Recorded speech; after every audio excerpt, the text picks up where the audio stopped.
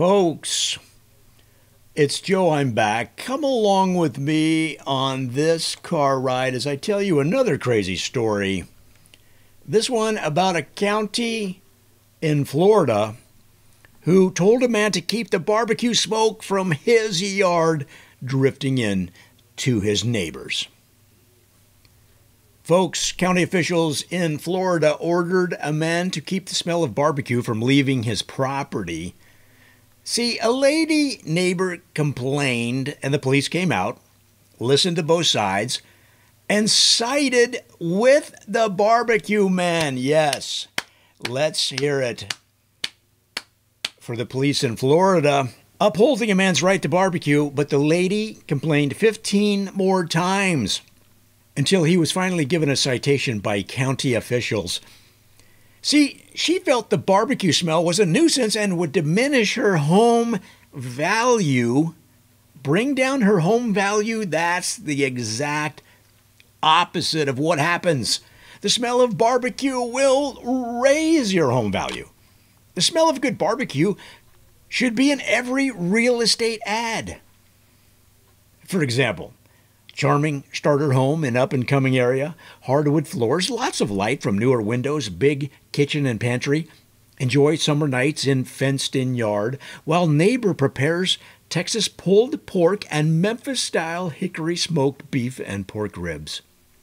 Or three bedroom colonial with grand entranceway, great schools, fully renovated kitchen and baths, Whole family will enjoy smell of neighbor slow cooking Mexican street corn with lime coconut drizzled on top, Cajun deviled eggs, and baked sweet potato fries with spicy apricot dipping sauce.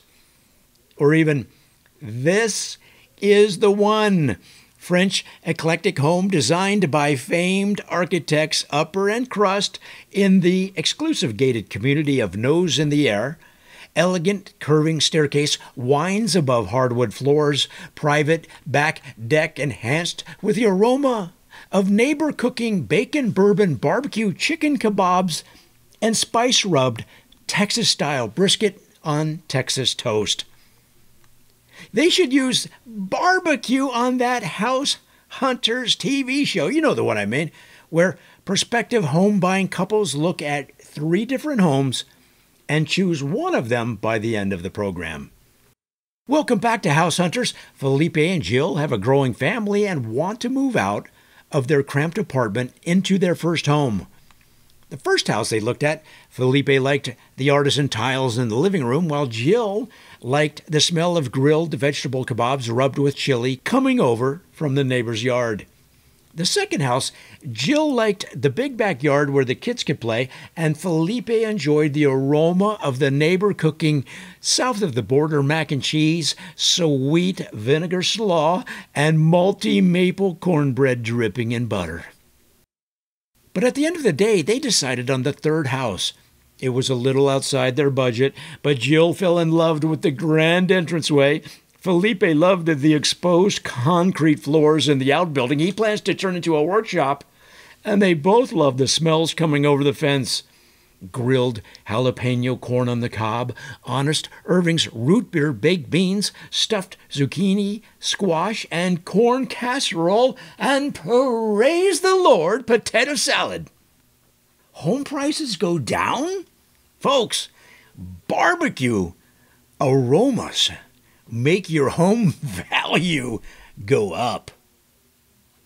Folks, that's all I have for now. Until next time, I hope you're doing well and everything is going good in your world. And until then, I'll see you soon.